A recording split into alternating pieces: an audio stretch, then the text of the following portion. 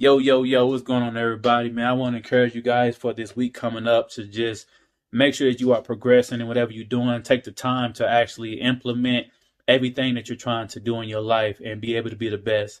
I'm telling you guys from my own personal experiences that you have to be able to have things in your life and people in your life that can help you on your journey. So I invested into a personal trainer and a nutritionist to get my body really locked in to start eating more healthy and hold myself accountable. If you don't have some type of barometer, some type of measuring tool to figure out what you're doing, there's no way for you to understand your progression because you don't have anything to measure it measure it against. So for me, I'm gonna show y'all real quick uh, the food that I had to purchase and buy, and on my list it has whatever I'm eating. If it's three ounces of chicken, it has this is going to be 120 calories, you know, 48 carbs and 36 uh, grams of protein. So I can understand how many calories I'm putting into my body every week, how many carbs, how many pro, how much protein, so I can be more efficient in my success and in my growth.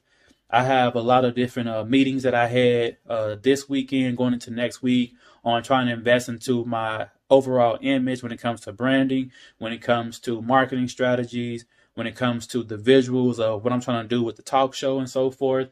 I got to a certain level that I understand I have to invest outside of myself to help whatever I'm trying to do come all together. So anyway, I don't want to make this video too long, but I want to just let you guys know how important it is for you to really track your progress and understand what you're doing and why.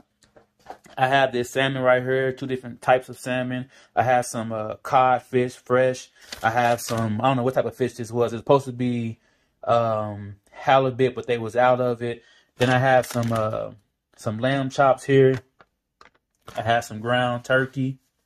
I have some chicken. I bought me a little griddle to cook everything on. My cousin gave me this tea thing. I just drank some tea earlier. I love that thing. Um, Got some fresh green beans.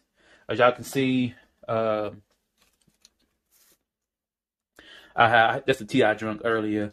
I put some olive oil and stuff inside of here for my cooking. No salt inside of anything I'm going to be eating. Got some some other sea moss that came in. Uh, I try to make that. Anyway, got a scale, y'all, and it goes ounces, uh, grams, uh, kilograms, pounds, and everything like that, so I can measure everything that I'm putting into my body. Some asparagus, some uh, some jasmine rice, some spinach, and some cabbage.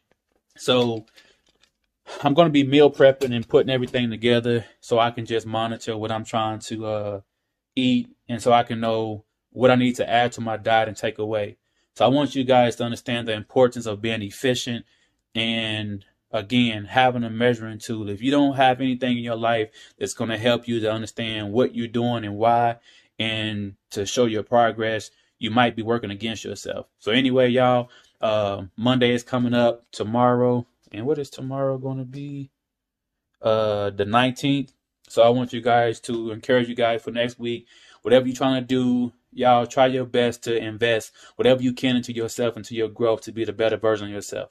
So this is my motivation coming up for the week. Y'all, I hope you had a great weekend. Continue to be great. Be very mindful of where you are in your life and be very grateful for you being able to be healthy and be amongst the living. Anyway, y'all, that's my word. One love from me to you. Remember that it's progress, not perfection. You rest in the end, not the middle. Let's go. Let's grow. Let's build.